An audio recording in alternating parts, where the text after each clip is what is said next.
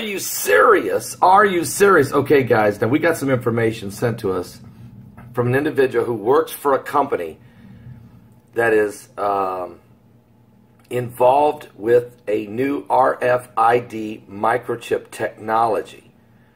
Now, this is, again, this is not the mark of the beast, but if you'll look at my thumb thumbnail on this video, video I show you one type of new self-adhesive um, patch that they put on a they can put on a patient's skin that has an RFID uh, microchip barcode system. That's not just a barcode, okay? But there's an RFID microchip in the patch.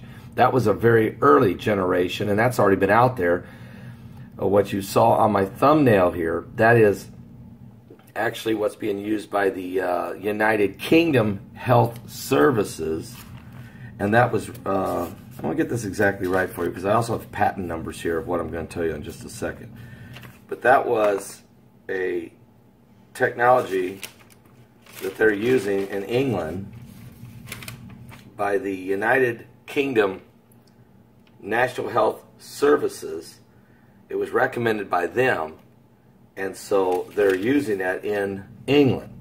But that's not, that's a first generation. There's a new self-adhesive patch that can go on the forehead, it can go on the back of your hand, it can be worn on the wrist.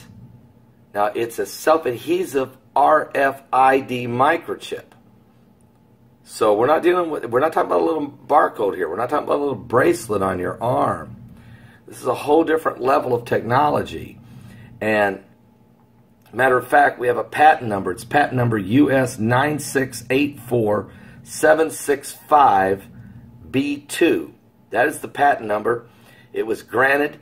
Um, the application for the patent was filed on the 29th of May 2015 and the uh, patent has been granted uh, on the 20th of June this year. Just been granted. Now this technology, it's also no, this patent has also been published as patent number US 201 603 50493. The inventor is Peter Michael Vadat, uh, Vadinos, or excuse me, Peter Michael Vadinos he was the inventor. The original signee off on this was RMS Omega Technologies. That's right, not Alpha and Omega, just Omega Technologies. That means the end. And um, this is a U.S. patent. Now, what it is, it's a self adhesive type um, attachment to the human body. Although it's a wearable band, it's described and illustrated, the embodiments are not so limited. In other words, the improved identification device may include an adhesive label or patch, anklet, bracelet, finger band, headband, identification card, necklace, waistband, wristband, or other wearable appliances which for the sake of convenience, are collectively referred to as the identification device. Now, in this patch is an RFID microchip. Now, although this chip is not being implanted, it will be attached to the patients. This will be part of a medical uh, system and uh, very significant. So, we're going to keep a close eye on this. This is very, very, very, very concerning.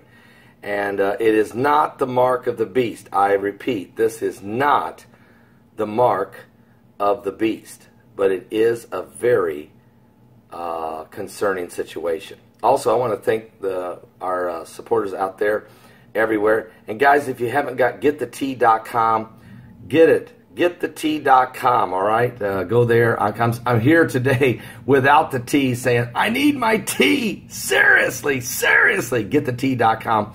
Ronnie's got some, uh, he's got great tea and some other great products, so check it out. God bless all of you. I'll be live today at 12 noon Eastern, 12 noon Eastern at my website at www.paulbegleyprophecy.com.